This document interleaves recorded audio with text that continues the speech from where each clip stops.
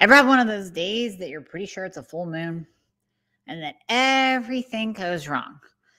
Yeah, that's today. So if we can get through this without any hiccups, you know, things breaking, maybe losing internet connection, dogs barking, kids screaming, that kind of thing, it will be a damn miracle. So if you're here listening, I thank you because we're going to get through this together not only is this post holiday, and I don't care when you're listening to this, you can be listening to this in June. Guess what? It's after Thanksgiving. Some people are still carb loaded, like they're still rolling around with their stomachs full, going, Oh, why did I eat so much? And even though it's like four or five days later, some of you are shopped out from Black Friday. I get it. So that's why you're maybe lounging today taking it all in. You're deciding to actually listen to some things that can change your life. So that's why I love doing these Q&As. I love love love doing Q&As. This is the thyroid and hormone Q&A. And we're going to dig into some studies today that I want you ladies to hold on to because many of you and this is a very common question that I've been getting from my patients directly some of the questions that I'm pulling today, but specifically this one, I have been getting from my Facebook group, Dr. Amie, the Thyroid Fixer Love Your Mirror group. That is where I am giving you all kinds of great information. It's our own little private niche down group. It's not like the Attuned Thyroid group where you're posting labs and you're getting that kind of information because I can only do that if we are working together one on one as a patient but it's a great group just to get inspiration and tips. I give you workout tips and nutrition tips and answer your questions and all that kind of good stuff. So, this is a question I get in there. I have been getting in there a lot. And it is regarding your cycle. So, why is it so long? Why is it so heavy? Why is are you skipping it? Why is it coming twice in the same month? So I want to dive into some possibilities on that as well as your thyroid questions. Okay. So let's start off. This one was really, really super good. And I don't know whether I actually answered this or not on my Facebook group. I have to go in and double check the comments. I answer so many. I forget whether I answered this one last week. But the question is I know that if my thyroid hormones are out of whack, my other hormones are out of whack too. But is the reverse true? So if I balance my progesterone, estrogen, pregnenolone, testosterone, she's listening too. It's a good job on listening. Pregnenolone, you added that in. Will my thyroid function more optimally? If I add an adrenal support for high cortisol, can symptoms that I attribute to thyroid be cortisol? Whew, that is a good question. So let's break that down.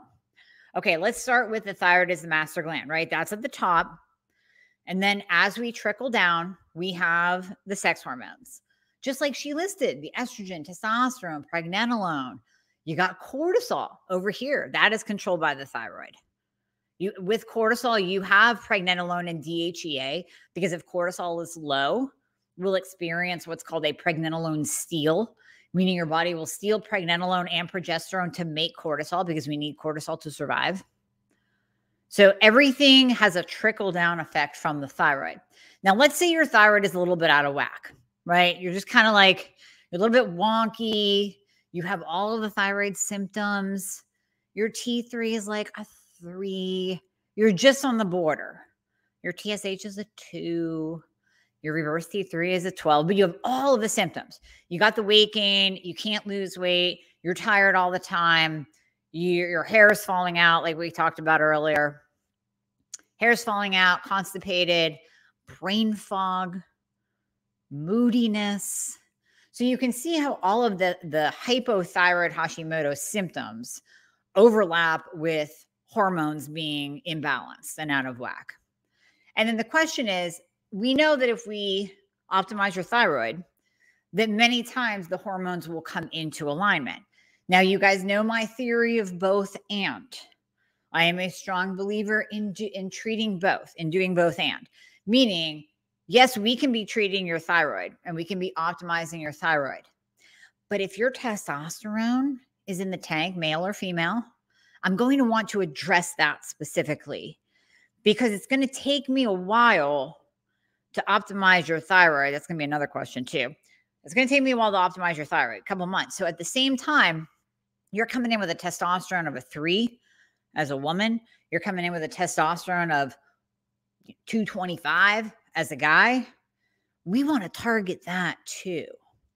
So that's where the both and comes in, where I am balancing, optimizing your thyroid and targeting those low hormones down here at the same time. Because that's where you're going to get the most bang for your buck, is if we do both and. Now, then the question becomes if you're just borderline, and let's say you you, you don't want to go on thyroid medication, um, we are not using like a thyroid glandular or anything like that. Then, if we start to target your testosterone, male or female, and we really start to kind of hit that hard and we're getting your progesterone levels and balancing estrogen and progesterone so you're not in an estrogen dominant state can that improve thyroid function? The answer is maybe. So, this is really where breaking down hypothyroidism versus Hashimoto's comes in as well. If you have Hashimoto's, so even if, you know, going back to all my examples, your free T3 is borderline, you're at a three, your TSH is at a two, you're just kind of teetering, but your thyroid antibodies come back positive and you definitely have Hashimoto's, we know that that is an autoimmune condition. So we know that your body is going out and it is attacking your thyroid gland and it is slowly destroying it. With any autoimmune, and, and I get this question a lot too. So I'm kind of combining two or three questions into one answer. I get the question of can I heal my Hashimoto's naturally? I did a separate podcast on that that we can link to and you can listen to. But the answer really is yes, and we have to support your immune system and we have to take down inflammation. So, me balancing your hormones, hoping that the destruction of your thyroid stops because you have Hashimoto's, is not going to work. We have to address your vitamin D levels and make sure that's optimal. We have to make sure that we are to- in, in total love and support of your immune system. Zinc levels have to be optimal. I don't want you anemic. I want you taking iodine. Yes, even if you have Hashimoto's, iodine is amazing for your immune system. Low iodine is tied to high reverse T3. I, low iodine is tied to an increased risk of cold and viruses. So, yes, we definitely want iodine in the mix. We want to do all the things to support your immune system and then, in addition, reduce inflammation. So, you've heard me say this a bajillion times high insulin equals high inflammation. If you want to age quickly, jack your insulin up. Keep eating a standard American diet, keep eating carbohydrates, add a ton of sugar in, don't cut out the sugar. Keep eating fruit every single day because you think it's good for you when it really, I mean, has antioxidants, yes, but it does spike your insulin and blood sugar. And keep that insulin high and your body will continue to be inflamed. So, again, balancing all of your hormones is not going to take down inflammation per se. It's definitely going to improve the way your body functions, and your body's going to thank you for that.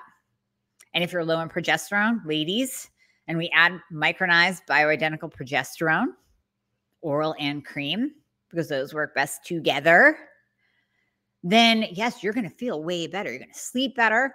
That will help decrease inflammation. You're going to have a better mood. You're going to be less agitated and edgy.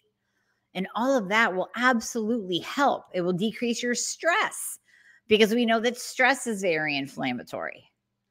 So while adding in the hormones will help kind of indirectly, we still want to address the things that are driving down your thyroid function directly, i.e., your immune system, i.e., Hashimoto's. Now, if you are one of the five to 10% that is literally just hypothyroid, meaning your thyroid function is decreased due to an external factor. And it's usually from a medication, it's going through radiation or chemotherapy. Post breast cancer patients are often diagnosed with hypothyroidism, non autoimmune, non Hashimoto hypothyroidism. excessive exercise, as we've talked about before, doing cardio like you're a hamster on a wheel, doing CrossFit seven days a week, excessive dieting, caloric restriction, eating disorders, all of that can tank your thyroid function without it being Hashimoto's, without it being an actual autoimmune condition. So, yes, you can have a low thyroid function, but that still comes back to inflammation. Your body is inflamed because you starved yourself and your body's literally in a starvation mode. So, our bodies are smart. It shuts down thyroid function because it wants everything to slow down from that behavior. We have to reverse the behavior and not just address the tanked out hormones at the bottom. We have to address the behavior and support the thyroid and support the inflammatory response of the body in order to get that thyroid function back up and running if it is just hypothyroidism, non autoimmune. If it's Hashimoto's autoimmune, then we support the immune system, take down inflammation as well, and stop the destruction of the thyroid gland. Now, the second part of our question was about cortisol. Well, taking an adrenal support. So here's the thing we have to know whether you're high or low. She may have said that in there. High cortisol, adrenal support for high cortisol. So, adrenal supports for high cortisol include phosphatidylserine. That's really great for women we don't want to just throw, I say this all the time, we don't want to just throw an adrenal supplement at you without knowing your cortisol pattern, without knowing whether you're running high or you're running low. When you say high cortisol, does that mean one point in the day? Or does that mean every single point on your four point salivary cortisol panel that you did? Because that's the only way to truly know your cortisol. You cannot just go by your morning cortisol number that can be high because of the cortisol awakening response. So if you had a four points salivary, saliva, diurnal cortisol panel that you're testing literally upon waking at noon, at five, and before bed. So we know your actual cortisol pattern, or you did the Dutch test. Then we can actually say, yes, you have high cortisol through the whole day, or no, you're bottomed out with cortisol all day long. But if it's just one point during the day that maybe peaks a little bit high, you know, that 5 p.m., you're driving home, if you're actually working outside your home, you're driving home thinking, oh my gosh, I'm going home. I got to cook dinner still. And Johnny needs help with his homework. So your, your stress response tends to go up at that point. So we can even tailor it to address those peaks of cortisol at that point of time where you peak. If you happen to peak right before bed, again, phosphatidylserine, kava, a good brand of kava, uh, magnesium, melatonin, progesterone, like we just talked about, helps with deep sleep. We can build you a stack that really decreases that stress response right before bed and lowers your cortisol before bed.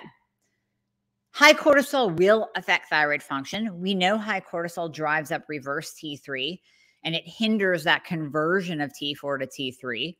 Remember, T4 is inactive, T3 is active. T4 has to convert to T3 in order for it to get to your cells and do its job. If if reverse T3 is high, that means you have a conversion problem. And it could be from high cortisol. It absolutely could be from stress.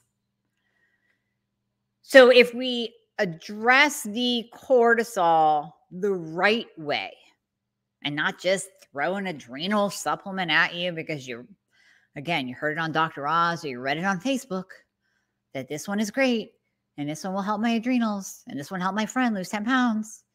You have to know your own pattern. Every single person is different. So I do not recommend willy-nilly taking a cord, an, an adrenal supplement. I do recommend doing the testing to know exactly what your cortisol pattern looks like and then working with someone who knows exactly what to do and when. But in general, rule of thumb, ashwagandha is really good for low cortisol and it's really good for guys. You don't want to take too much ashwagandha. Like I would not recommend an ashwagandha supplement for someone that is, you know, let's just say they don't know their cortisol pattern, but they think that they are wigged out and stressed out and maxed out and they're overworking and they're staying up till 2 a.m. because they can't get to sleep. No, I would not recommend ashwagandha. Ashwagandha is more tailored for men and it is more tailored for low cortisol. Now, you can do something like, you know, Organifi. They have the Organifi Gold chocolate drink, which is amazing right before bed for relaxation. It has a sprinkling of ashwagandha in it, but it's not a direct ashwagandha supplement that you are taking that could bump up your cortisol. And we don't want that if you already have high cortisol. Really hope this is all making sense. I know it's a lot of information kind of tying together, but this is such a great question because it allows us to branch off. So you want to know your cortisol pattern. You do not want to just throw an adrenal supplement at it and cross your fingers and wish on a rainbow that your thyroid fixes itself. And then the the overall umbrella answer it depends on how tanked out your thyroid function is. Listen, I am all about healing naturally. I have a lot of people, especially recently, it seems, really want to heal themselves naturally without going on a medication. And we can do that. And it will take a little bit of work. And it will lead into my next question about gluten, because you're going to have to be gluten free. But can we do it naturally? Yes, unless you are completely tanked out at the bottom of the barrel. When your T3 is 2.3, when your TSH is above a two, when your antibodies are in the hundreds and you feel like shit, and you're coming to me and you're saying, I can't lose weight no matter what, and you're crying and you've put on 20 pounds and it's not coming back off, and you're counting the hairs that fall out of your head, and you're tired all day long, and you're crying in your car because nobody's listening to you, and no doctor will do all the testing, so you had to order it yourself from Ulta. At that point in time, my dear, we're going to use thyroid hormone replacement therapy because I don't want you to suffer any longer. When you've crested 20 pounds, and believe me, I've been there. Remember my story? I stopped weighing after I put on 20 pounds. I'm still looking for those before pictures from, for you guys of me when my thyroid was all jacked up and I didn't know it. And six doctors were misdiagnosing me. When you're at that point, I want to help you. And can you maybe get off your thyroid medication down the road? Maybe, maybe once we have your numbers up and your your insulin down and your inflammation down and we're supporting your immune system, maybe. And then again, maybe you won't want to because you're gonna have to pry the T3 out of my dead cold hands. I have zero desire to do my thyroid naturally. I'm good. Like I, I am really solid good where I'm at and nobody is going to change that. But we are all different. You might you might be totally different. You might be like listen i pride myself on never being on a medication. I want to continue that. So if i have to use let's say natural desiccated thyroid for a little bit because it's natural quote unquote oh, i'm willing to do that until i feel better but then i really want to work on getting off. Okay we'll work on that but i'm telling you you might feel so good you might be like you know what i changed my mind since this is natural desiccated medication, maybe I'll stay on it for a little bit. We can cross that bridge when we get to it, right? Next up, gluten, the gluten question. Woo, we get this a lot, right? So, where do I want to start? I got this question personally from a patient looking to sign up. I saw this question in my Love Your Mirror Facebook group tried gluten, tried gluten for a couple years, didn't notice the difference. And then the other question is, well, do I have to do gluten free if I do your program? My answer is yes. And I am honest with people. I mean, listen, I don't want somebody that doesn't want to change, right? Woo, how did I get there? Okay, let me come back. There we go. I don't want to work with somebody that doesn't want to change. Yes, you have to avoid gluten, but here's the why. And you have to understand the why and then it just all makes more sense. So I would say gluten free is not a fad.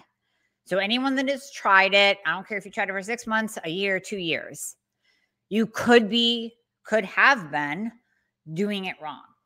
And by that, I mean, this is where gluten free got a bad rep. Everybody used gluten free products, quote unquote. So they replaced their cereal with gluten free cereal and replaced their pretzels with gluten free pretzels and their cookies with gluten free cookies. And we got gluten free pasta and gluten free bread and gluten free crackers. And if you look at all of those products and you look at the ingredients and look at the carbohydrate content, you will see that the carbohydrate content is still high. You will see potato starch and tapioca starch and sugar. Potato starch, did I say potato starch? Yeah, potato starch, brown rice flour, that's another good one. You will see all of those ingredients in the gluten free products, and those are all still inflammatory. They're still going to kick up your blood sugar, they're still going to kick up insulin, they're still going to kick up inflammation. And then what do we know that gluten does? We know that it causes leaky gut. Okay, so bear with me. So we have the GI tract from your mouth to your bum. And there was a time that we thought that that was a totally enclosed system because it's supposed to be. So we thought it was tile and grout. These hard tiles with, you know, big thick grout that is impenetrable. And then we learned over time that that grout is porous and it, it kind of acts more like a swinging door. So when we take in gluten, when we're exposed to pesticides and toxins, those come into our body and they pass through that door and they go into our bloodstream. We call these these things like gluten, we put them under an umbrella term. We can call them antigens. You may have heard LPS, lipopolysaccharides. They're molecules that get through the gut lining and into the bloodstream and literally wreak havoc in your body. They cause high inflammation. They cause a systemic, meaning full body, inflammatory response. So that's one part that we know about gluten but then we also know that all that other garbage that's in the gluten free products, like the brown rice flour and all the grains, the, the starches, the potato starch, the, the rice flour, the sugar, that will cause leaky gut. And that will cause your body to have a full body systemic inflammatory response. We know that hands down. Here's the other thing we know about gluten. So we talked earlier about Hashimoto's. It is the destruction of your thyroid gland. And if you've been listening to me long enough, you will hear me say over and over again the analogy of soldiers. Whenever we're talking autoimmune, I don't care if we're talking about Crohn's, celiac, Hashimoto's, psoriasis, lupus, MS, you got these soldiers in their barracks.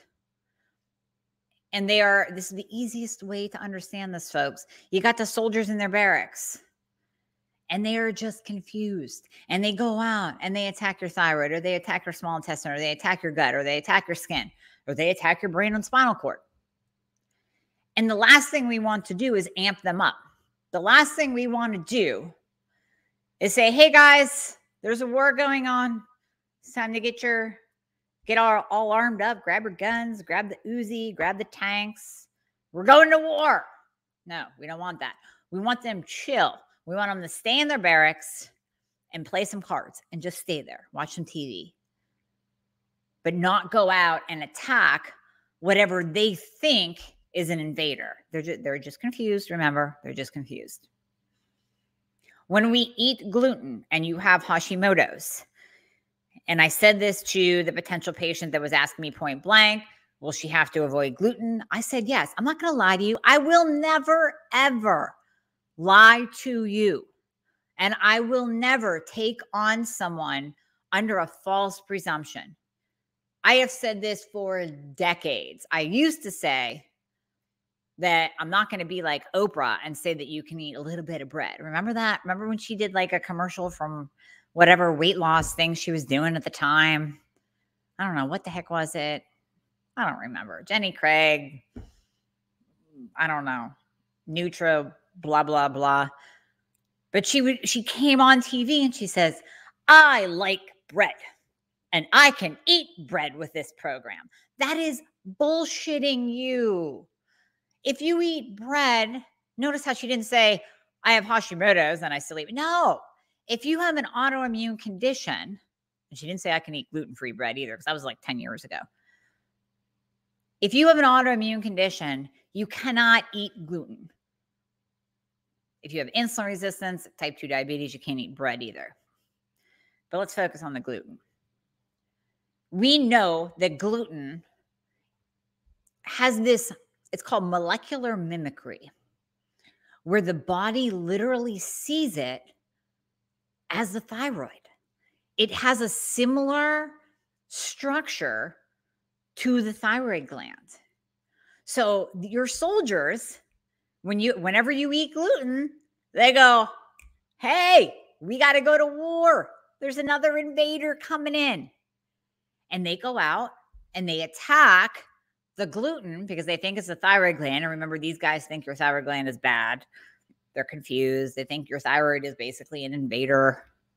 They go out and they attack the thyroid gland. And then they attack your thyroid. So you just basically open the floodgates for your soldiers to go out and attack more.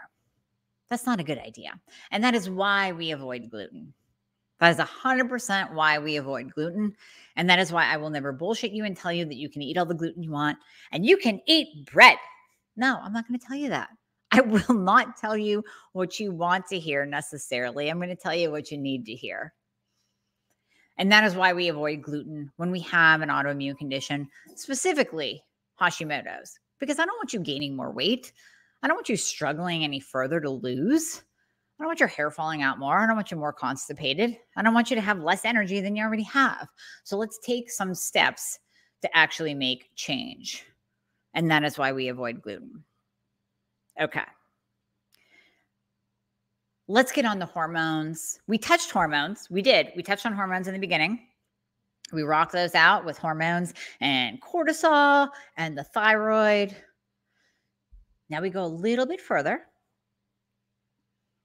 and I want to get into women's cycles and this time that we are in right now. I have a dog with a limp paw. He's trying to get down. See, this is this is like the full moon day. This is what I'm talking about. And he's trying to walk down the stairs.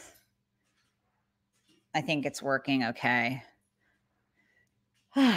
it's just this kind of a day. This is a Monday of all Mondays. And I don't care when you listen to this. Again, if you listen to this in July on a Friday, this is one hell of a Monday. Okay, circling back.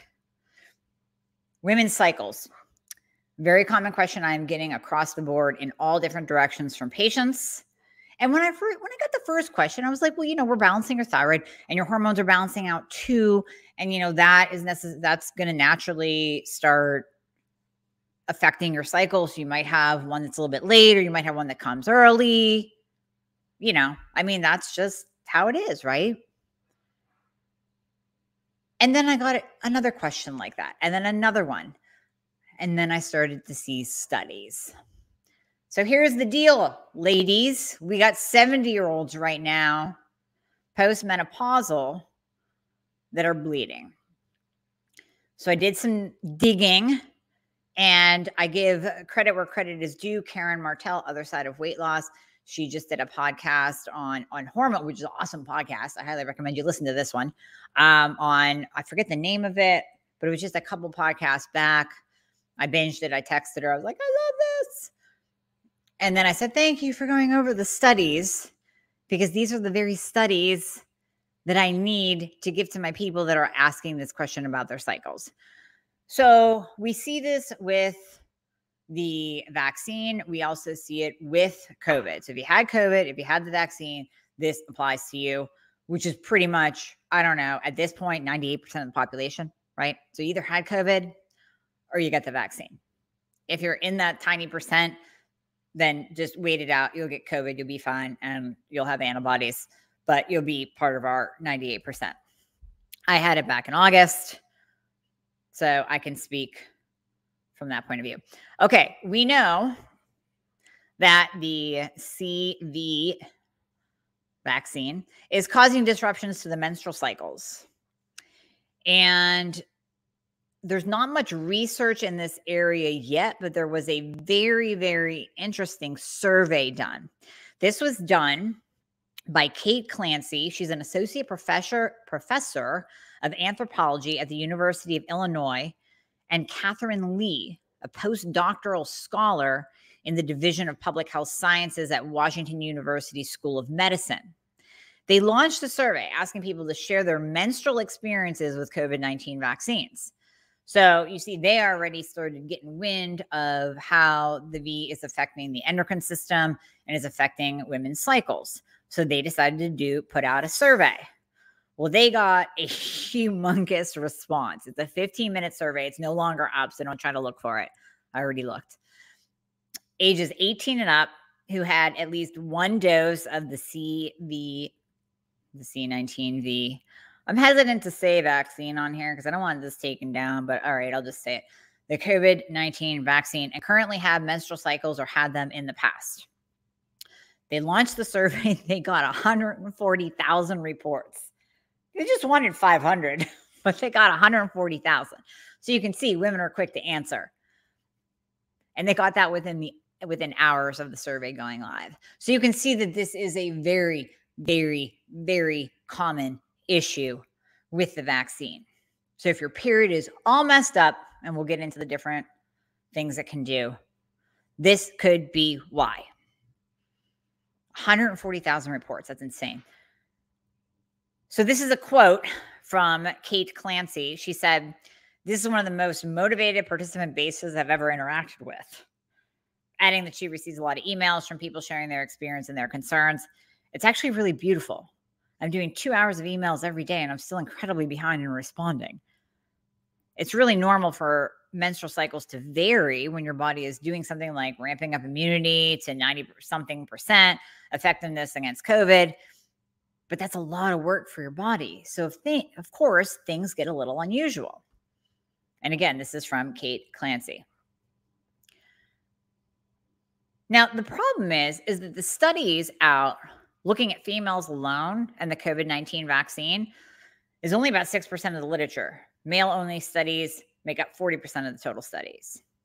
So, right there, you see that there's this huge gap in our research, leaving women behind, but yet there's a huge outpouring of information with 140,000 women willing to give their opinion and answer a survey and say, hey, my cycle is messed up.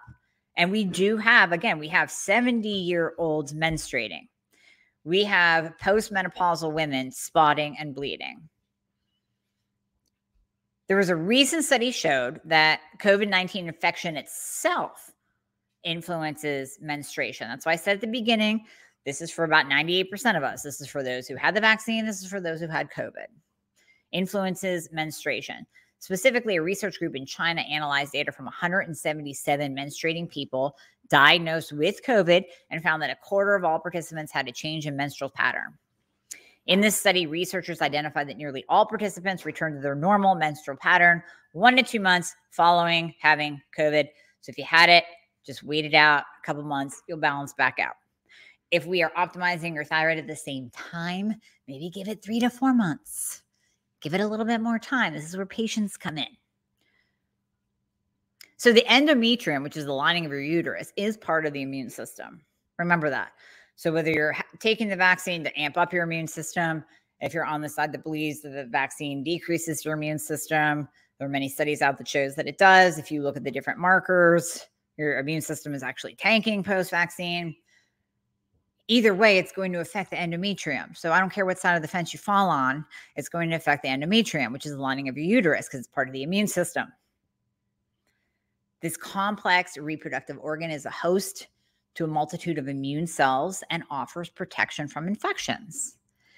Those immune cells in your endometrium vary cyclically, cyclically, cyclically, cyclically based on the phase of your menstrual cycle. So we're actually starting to see that when you get the vaccine in your cycle is also important and that will influence your post vaccination response. So then when the immune response is mounted up post vaccination, your endometrium reacts. It starts to adapt to the immune environment around it because it wants to protect the uterus. Now, I know some of you out there say, I don't have a uterus. Just still listen up. And then this change, this crazy change in your immune environment triggers that abnormal menstrual cycle. So you can see an increase or a decrease in menstrual length, an increase or a decrease in blood volume. That's why I'm getting my periods are heavier, they're shorter, they're longer. I'm getting two and three in a month. I'm not getting one for two months. I used to be regular before this. So it's going to be a combination. If you're working with me, it's going to be a combination of us absolutely balancing your hormones, optimizing your thyroid, and then whether or not you had COVID or the vaccine. Moving on, I'm getting down to this. Okay, here we go. So the presence of this receptor. So there's a there's an ACE2 receptor involved when you have the COVID-19 infection. And this is also part of the COVID 19 vaccine. And this ACE2 receptor is actually in the ovaries and it modulates the production of sex hormones, estradiol, progesterone, which then in turn can increase or decrease cells on the endometrium. So the timing that the vaccine is administered during one cycle, if you still have a regular cycle, can change your your regularity of your cycle. So that's why we're seeing shorter, longer. So there was a research group in Spain that just looked at this. They found that that ACE2 receptor increases the ACE2 receptors increase in the endometrium during the luteal phase, time between ovulation, start of menstruation, suggests a higher risk for viral infection during this time meaning that the menstrual side effects may be dependent on the cycle stage at the time of the vaccine administration. But we need more studies on this. And, and I feel like we are avoiding studying this because we, want, we don't want to freak women out. Everybody wants everybody to get the vaccine. We don't want women being like, listen, I've worked so hard at balancing my hormones. I don't want every, anything to F it up.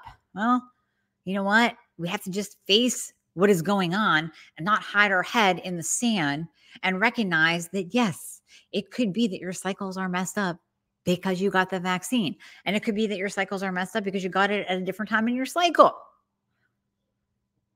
That ACE2 receptor, those are linked, the ACE2 receptors, plural, are linked to levels of estrogen. So it's not really surprising that menopausal status is related to COVID 19 outcomes, with postmenopausal women having more severe outcomes compared to premenopause. This is if you actually get it. This is why the older population is rushing to get the vaccine. But I'm sure they're not rushing to get the vaccine because they knew that postmenopausal and postmenopausal women are more susceptible and have a more severe outcome. But it's still, I'm still going to say though, that if you take care of yourself, listen, I don't care if you're a postmenopausal woman and you are rocking it in the immune department, you're taking your D, you're taking your C, you're exercising, you're keeping your insulin low, you're not overweight, you're balancing your thyroid, you're taking your iodine. If you're doing all the things, then your immune system is fine. And you don't have to panic and rush out and get the vaccine just because you're postmenopausal. Because you still could bleed. Like I said, 70 year olds bleeding, postmenopausal women bleeding, Women over 50 that receive hormone replacement, estrogen hormone replacement therapy, i.e., estrogen replacement and progesterone replacement, are at a reduced risk of mortality due to COVID 19. So, if you're working with me, if we're balancing your thyroid, if we're balancing your hormones, mm. if we're amping up your immune system, if you're using vitamin D and you're using vitamin C and you're using zinc and we're keeping your insulin low and you're not insulin resistant, you're losing weight and you're taking care of yourself and you're eating well and you're exercising well, and chances are you're going to be just fine. But your cycle still might be a little bit messed up if you get COVID. Okay. What else we got? What else we got? Um, this is again, I'm giving credit where credit is due. This is from Karen Martel. She stated, because I didn't look this up, I have heard that the vaccine does affect fertility, but as of right now, there's no hardcore evidence, but we also haven't really dove into it. that much in studies because, again, we don't want to scare people off. But we do know that the spike protein does go to the ovaries. It has an affinity to the ovaries. So this is the spike protein when you whether you get COVID or you get the vaccine, they both have spike proteins in them. And we know that they have an affinity to the ovaries. So if you have it and it goes to your ovaries, that spike protein goes to your ovaries, it can affect fertility. Although there's no evidence that the vaccines affect fertility. But that said, we have to keep in mind the majority studies are done on men. And there's never been a time in our history where we used an mRNA, mNRA vaccine on the masses. So, of course, there's no long term studies. We can't compare this to the flu vaccine. We can't compare this to polio. We just can't. So, we don't know how it's going to affect your hormones in the long term. But in the short term, ladies, I want you to know that your periods might be messed up. So don't freak out. I posted this in my patient group too. If you're having messed up cycles, that's totally normal, especially if you just got the vaccine or not even just 15 months. The vaccine releases spike proteins for 15 months.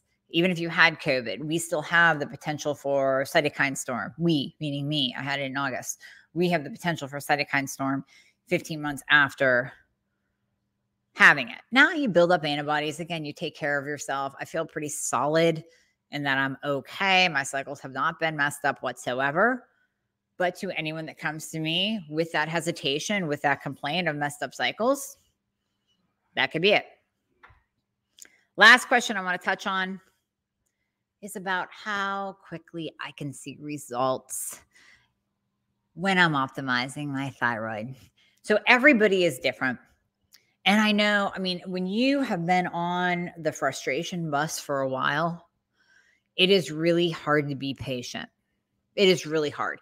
And I actually specifically make videos for my patients to be patient because when we are starting off, and, and any of you, I don't care who you're working with, whenever you are starting out and your thyroid has gone undiagnosed, undertreated, mistreated, you're on the wrong med, you're on T4 only, nobody's paying attention to anything else or your hormones, and you are literally starting from ground zero, it might take a while to build up that metabolism, to build up the proper amount of thyroid hormone in your system, to get your thyroid or your testosterone level back up to normal, to get your estrogen progesterone back up to normal, to get your adrenal glands functioning the way that they should, like we talked about in the beginning, the right cortisol pattern.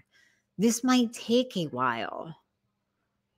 And that's okay but you have to have patience. So I always use, you might have heard me say this before, but it's worth repeating. I use the analogy that your metabolism is like a wet pile of leaves. Okay, you got this big wet pile of leaves. It's fall here in the in the north. And you know, got all these leaves falling down. They're everywhere. And you got these now it's raining and it's snowing.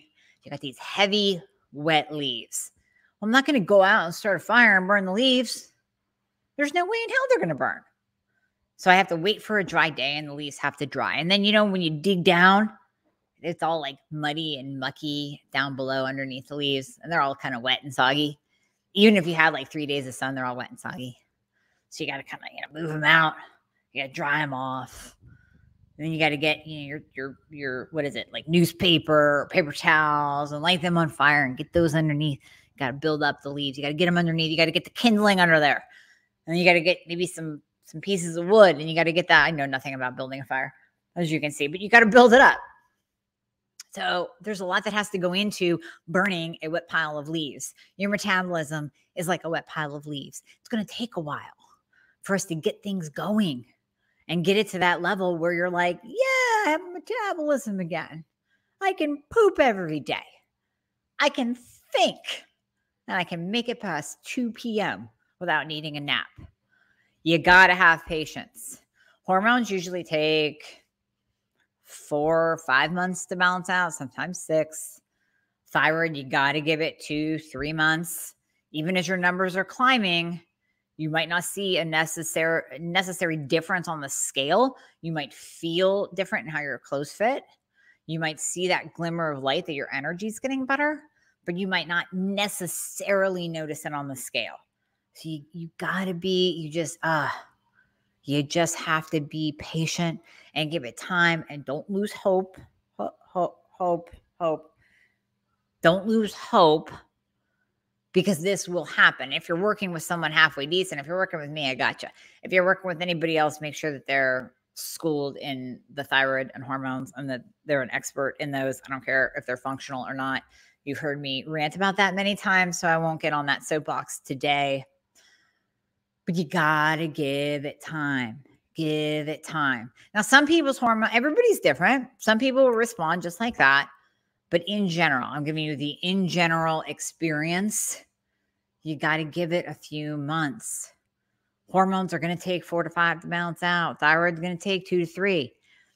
And that's not to say that in that first month, and I give people milestones, I give them markers of what to expect. Whether you're in my group program or my one on one program, I give you markers of what to expect. So, yes, you can expect your clothes will fit a little bit differently at the end of month one maybe not on the scale, but you might just go, you know what, this shirt that I used to pull out, it's fitting better now. And I feel a little bit better in it. You might get on your skinny jeans to the point where they actually go over your thighs. Maybe they won't button just yet, but you got them on. So just those little changes might start to occur in month one by the end of month two, by the end of month three, then you start to see the scale change a little bit. I just did a follow up. It was five month follow up with a patient today. She lost eight pounds, eight pounds in five months. That's not bad. When you are a hypothyroid Hashimoto patient, when you have effed up hormones, those little changes are the wins. Those are the wins. So if you tell me, well, I only lost two pounds this month, I'll go, What'd you lose last month before we started working together on optimizing your thyroid? Oh, yeah, that's right. I was gaining. Mm-hmm. So Alicia stopped gaining, and now you're actually losing. And you're not a contestant on The Biggest Loser.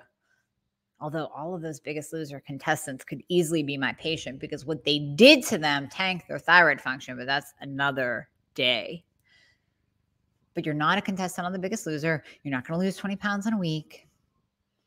That two pound weight loss in a month is a win for thyroid patients. That is a win that needs to be celebrated.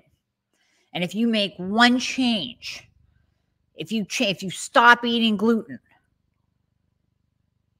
that is a win as well. And you know what? I just have to read this. Miss Maria, you kicked ass. 13 pounds since your first appointment with me in March. That is a win, girl. And you're feeling great too.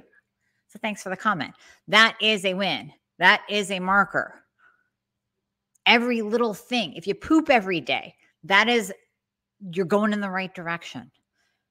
If you think to yourself, wait a minute, it's five. I didn't get tired today. I didn't look at the couch and like long to be on it. I actually made it through my day. That is a win. If your mood has improved a little bit, that is a win. So, thyroid patients, be patient.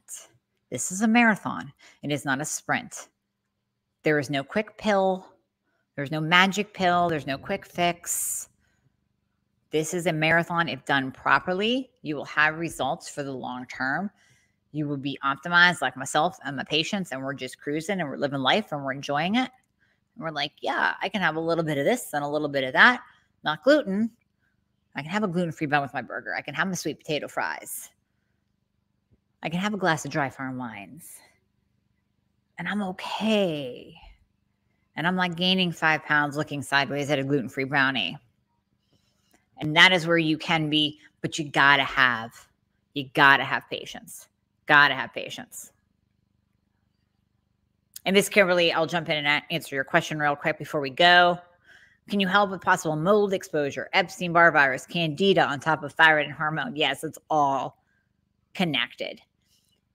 Guys, when I talk about, obviously, I'm a thyroid fixer. I talk about fixing thyroid and hormones, but it encompasses everything. I mean, you hear me talk ad nauseum about insulin, but absolutely, I mean, candida, oh girl we see so much candida and that just goes hand in hand with insulin resistance so if you're crazy craving carbs and sugar chances are you're going to have candida if you get a lot of yeast infections, if you have a white mouth, a white tongue, candida.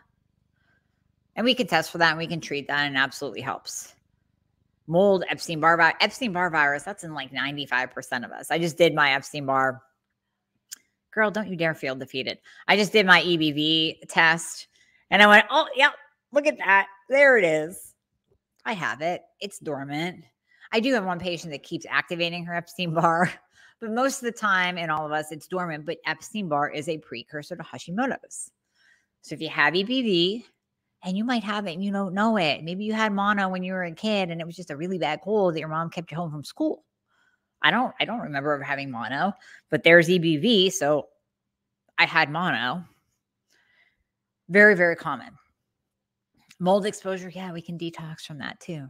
If you know that you have it and if you know that you're um what's the word? Sensitive to it and then it is triggering your body as to a histamine response or it's tanking your thyroid that's another cause of non-hashimoto's hypothyroidism. Mold exposure epstein-barr is always tied to, to hashi though. But do not feel defeated because absolutely we can make changes. Look at maria. Although maria i don't think you had mold but probably had epstein-barr because most of my patients do Either way, Cam, I hope that answers your question. Guys, I hope this was a wealth of knowledge. We did two lives today. That's amazing. So you'll be able to catch this on the podcast that releases Friday. Tomorrow's podcast will be about hair loss. Remember that right now I have 50% off both of my master classes. So the complete thyroid fix master class and the keto for the week. Cyber Monday, 50% off. It's good actually today and tomorrow. So if you use the code FIX50, F I X 50, you will get 50% off both of those. It's a huge savings. Huge, huge, huge. And it teaches you a ton. So you can go to my website and click on courses, or you can look, we've posted it multiple times in the Facebook group, on my Facebook page. You can go there, post it on Instagram. You can go there. You can find the link. You can click on it, use that code, you get 50% off. Okay. All right, guys. Thank you so much for joining me. As always, I will see you next Monday.